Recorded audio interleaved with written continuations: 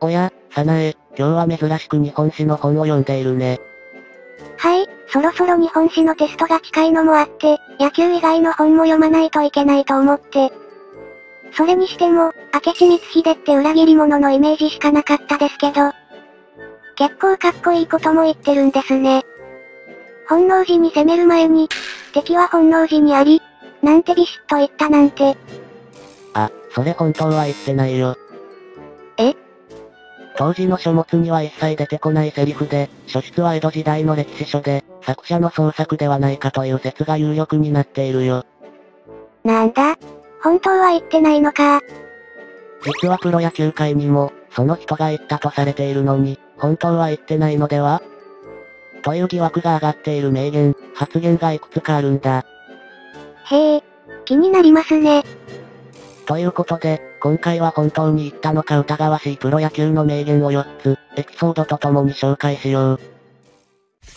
ゆっくりプロ野球解説。本当にそんなこと言ったの？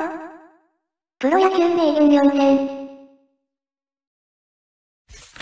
まず一つ目の名言はこちら。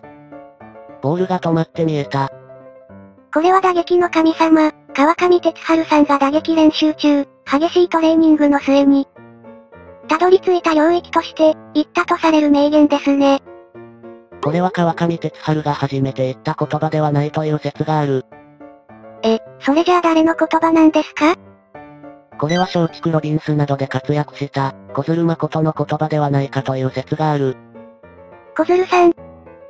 小鶴誠は、ゴルフスイング打法という打法を使った強打者で、1950年には松竹ロビンズにて、NPB 初の年間50号本塁打、現在でも最多記録となる年間161打点を記録した。この年の本塁打、打点王と、年間 MVP に輝いている。球史に名を残す、すごいスラッガーだったんですね。この小鶴が、ボールが止まって見えた、と初めて言ったとする説がある。シルバー産経新聞の記事によると、実際は小鶴の発言だそうだが、不人気球団を渡り歩いていた小鶴では記事にならないため、放置新聞の記者が川上の言葉に捏造した、と書かれている。え、じゃあ川上さんは言ってないんですか？しかし、ナンバー、プロ野球号打列伝、のビデオの中で、川上が練習中に、ボールが止まってくる感覚がした。という趣旨のエピソードを話しているので、まるっきり言っていない、というわけではない。え、じゃあ小鶴さんは言ってない？しかし、小鶴についても、2023年の NHK の小鶴誠の特集にて、小鶴のご子息の方が、投手の球が打つときは止まって見えたと何回か聞いたことがあります。と話しており、やはり小鶴も同様のことを言っていたのは間違いないだろう。結局どっちが先に言ったの？これに関しては、70年以上も前の話でもあり、真相は不明だが、二人とも打撃を極める中で、同様の域に達していた、と解釈するのが良いのではないだろうか。二人とも戦後すぐの野球界を引っ張った偉大な打者ですし、二人の名言としておいた方が丸く収まりそうですね。続いては、江本武則の、ベンチがアホやから野球がでけへんという名、名言だ。えーと、これは、阪神タイガースの江本さんが、うっかり記者の前でこのことを言ってそれが記事になってしまい、結局監督批判と取られて引退に追い込まれてしまったんでしたっけ？もう少し詳しく状況を説明しよう。1981年8月26日のヤクルト戦。7回まで1失点と好投した江本だったが、3点リードの8回表に連打で2点差に詰められ、なおもツーアウトに、三塁のピンチで8番打者を迎えた。この時、バッテリーと内野陣は8番勝負か敬遠か、ベンチの指示を待った。しかし、当時の中西太監督は何を考えたのか、ベンチに引っ込んでしまった。江本は時間を稼ぐために初球は高めに外そうとしたが、その球を捉えられて同点に追いつかれてしまう。ああ、これはベンチの怠慢ですね。江本はなんとか同点で抑えてこの回を終えたが、一塁ベンチに戻る際にグラブを投げつけ、2階のロッカーに向かうと、怒りに任せて怒鳴り散らした。まさか、この時に？本人はあまり覚えていないそうだが、近くにいたトレーナーによると、クソ、バカ、何を考えとんねん、このクソベンチ。アホやから。などと叫んだという。この発言はスポーツ紙にすっぱ抜かれる形となり、この発言の翌日、球団との話し合いを終えた妹は、発言の責任を取って対談させていただきたい。え、出現の翌日に引退宣言しちゃったんですか？江本は当時の阪神中西太監督との対立や、阪神球団への不満も相まって、引退を決意したとされる。その後、江本は野球解説者、タレントとして活躍。1992年には参議院議員に当選するなど、幅広く活動した。それで、結局例の発言はしてたんですか？江本自身が発言の翌82年に出したベストセラー著書、プロ野球を10倍楽しく見る方法では、残念ながら、これは僕の発言じゃない。と否定していた。本人は言ったことを否定してるんですね。ところが、当時の記者によると、例の発言をしていたという証言が複数見られるようになった。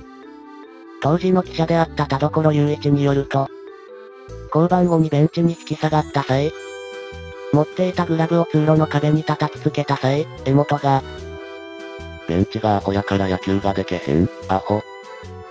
と言ったという。あれ？今度ははっきり言ってるじゃないですか。さらに、記者たちは発言の直後に江本を呼び出して、その真意を確認したという。しかも、記者たちはただの独り言で済ませようとしていたのだが、江本自身がはっきり首脳陣批判と認めてしまったのだ。え、記者たちの前で認めてるの？なんで後で、言ってない？って主張したんだ。こうした証言が出てきたためか、近年では江本自身も発言したことを認めるようになった。しくじり先生、海運なんでも鑑定団、などのテレビ番組内でも認めており、ベンチがアホやから野球がでけへん？というフレーズをはっきりと言ったかは少し疑問の余地が残るが、ベンチがアホ、というところまで発言したことは間違いなさそうだ。それにしても、一度言ってないと主張していたのに覆して認めたのも謎ですね。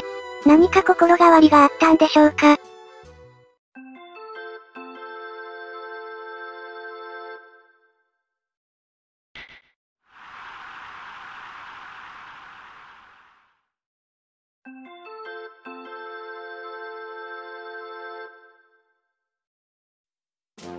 続いては、1993年オフ、当時阪神タイガース所属の松永博美選手が、FA して阪神を退団する際に言ったとされる発言。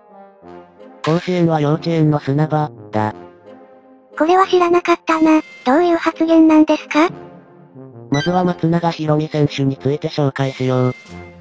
松永博美は、日本で珍しい強打のスイッチヒッターとして知られる三塁手。80年代から90年代にかけ、阪急、オリックス時代に3割6回、10年連続2桁本塁打を記録した。走攻守3拍子揃ったスイッチヒッターだ。強打で盗塁もできて守備の上手い三塁手。現代なら日本代表クラスの逸材ですね。さて、この松永だが、1992年オフ、阪神の野田浩二投手とのトレードで、阪神タイガースへ移籍することになった。前年、惜しくも優勝を逃した阪神タイガースだったが、ウィークポイントとなった長打力のあるリードオフマンを獲得したい。という思惑があったため、松永を獲得したという背景があった。ああ、でもこのトレードって、阪神が大損しちゃったんでしたっけ？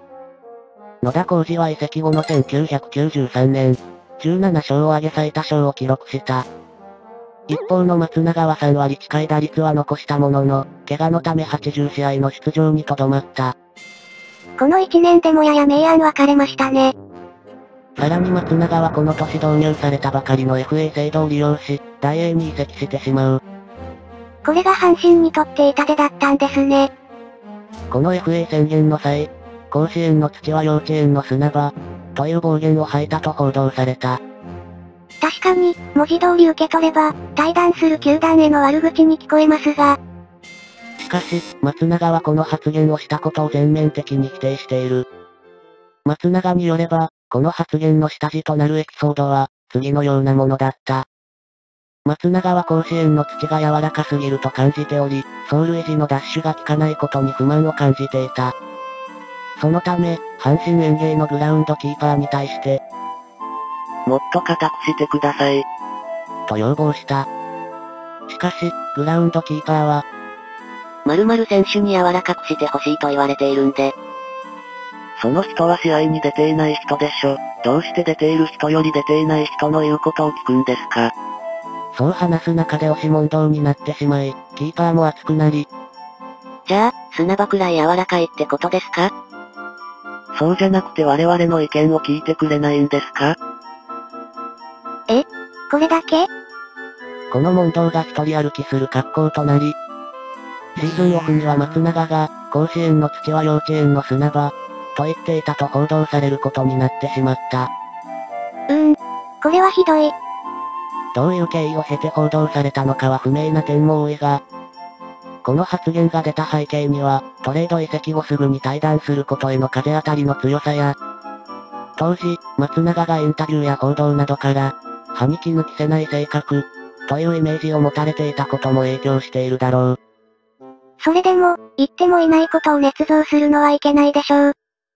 この一件は、当時のスポーツ紙報道のいい加減さを示す、代表的なエピソードの一つだろう。最後は日本シリーズという大舞台の期間中に出た発言。近鉄バファローズの投手、加藤哲郎の、巨人はロッテより弱い、だ。ああ、この発言は有名ですね。しかもこれ、言ってはいなかったんですよね。その辺のことを詳しく説明しよう。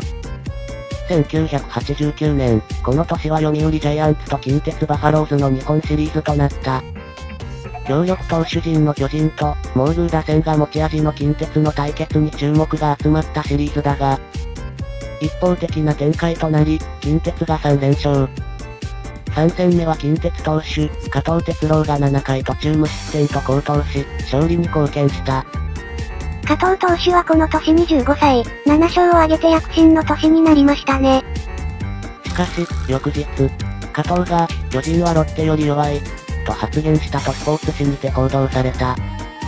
ロッテは1989年シーズン最下位のチームであり、巨人にとっては屈辱的な発言と言えた。当時のロッテは落合さんが退団した後で、低迷してたんでしたね。この発言の後、逆に巨人が3連勝。最終第7戦は、加藤が再び先発マウンドへ。しかし、2回に加藤は駒田に先制ホームランを浴びてしまう。駒田はダイヤモンドを一周する際、三塁ベース付近で、バーカ、と叫んでいた。これは、巨人はロッテより弱い、発言への報復と言われていますね。加藤は4回途中3失点で降板。巨人はリードを保ち、8対5で近鉄を下した。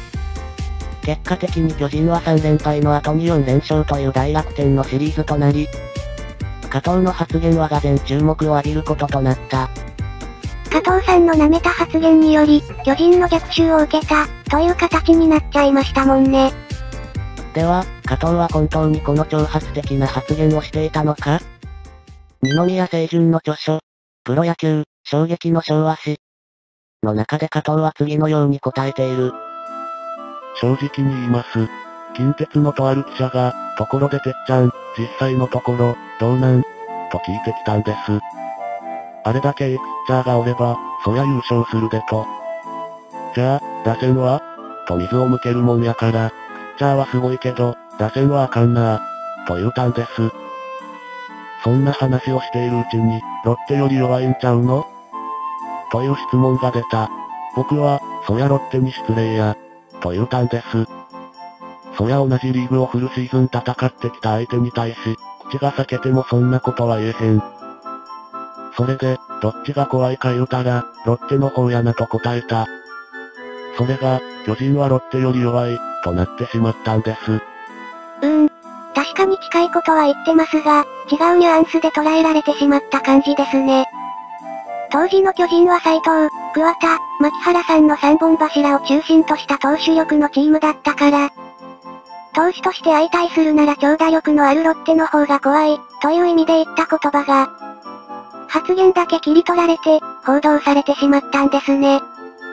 チームメイトでエースだった阿波野秀幸も、加藤が例の発言に近いニュアンスのことを言ったと証言しており、普段からはっきりと思ったことを口に出すタイプで、挑発する意図はなかっただろうと話している。挑発する意図ではっきり弱いとは言っていないとはいえ、似たような発言はしているんですね。しかし、そこまで有名にならなかった日本シリーズでの挑発的発言もある。1976年の阪急ブレイブス対読売ジャイアンツの日本シリーズで、阪急が3連勝した際、3戦目の試合後に福本豊が、近鉄やロッテでも3試合やれば阪急に1つは勝つ、と発言し、大貞治ら巨人ナインが激怒した、というエピソードがあるものの、こちらは巨人は3連勝するも、最終第7戦で足立光弘が関東勝利。阪急が日本一となった。そのこともあってか、この福本の発言があまり注目されることはなかった。やはり、不幸にも例の発言後に近鉄が4連敗して日本一を逃したことで、加藤投手の発言を一層有名にしてしまったんですね。さて、これにて4社の発言の検証が終わったので、一覧で見ていこう。1は本人が近いことを言ってるが、初めて言ったのかは微妙。2は一時否定も、最近になって言ったと本人が肯定。